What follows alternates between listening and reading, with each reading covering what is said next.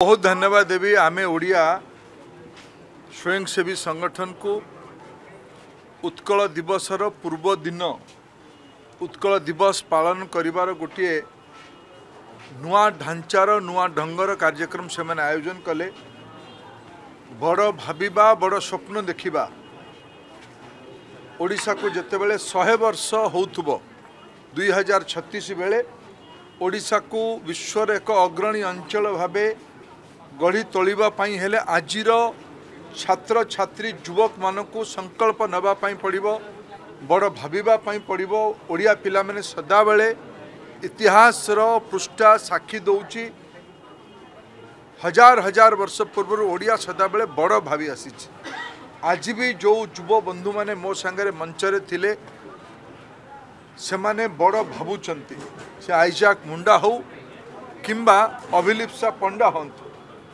ତାଙ୍କ ବଡ଼ ଭାବିବାର ପ୍ରତିଫଳନ ଜାତୀୟ ସ୍ତରରେ ଝଙ୍କାର ସୃଷ୍ଟି କରୁଛି ତରଙ୍ଗ ସୃଷ୍ଟି କରୁଛି। ନୂଆ ପିଢ଼ି ନୂଆ ନେତୃତ୍ୱ ନୂଆ ସମାଜ ବଡ଼ ଭାବୁ ବଡ଼ ଭାବିବାକୁ ସାକାର କରିବା ପାଇଁ ବଡ଼ ସ୍ୱପ୍ନ ଦେଖୁ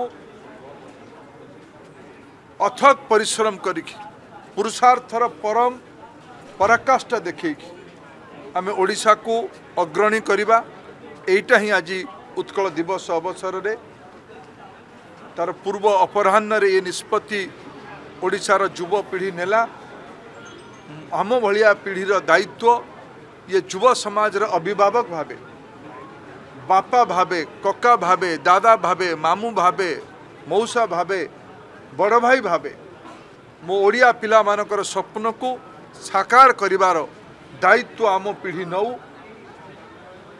ଏ ବିଶ୍ୱାସ ମୋର ପୁରା ଅଛି ଯେ ଆମ ଓଡ଼ିଆ ପିଲାମାନେ ଭଲ କରିବେ ମାନବ ସମାଜର କଲ୍ୟାଣ କରିବେ। କାରଣ ଯେଉଁ ରାଜ୍ୟରେ ଆମର ଆରାଧ୍ୟଙ୍କ ନାଁ ଜଗନ୍ନାଥ ଜଗତ କଲ୍ୟାଣ କଥା ଭାବୁଥିବା ଏ ଜାତି ସଦାବେଳେ ବଡ଼ ଭାବିବ।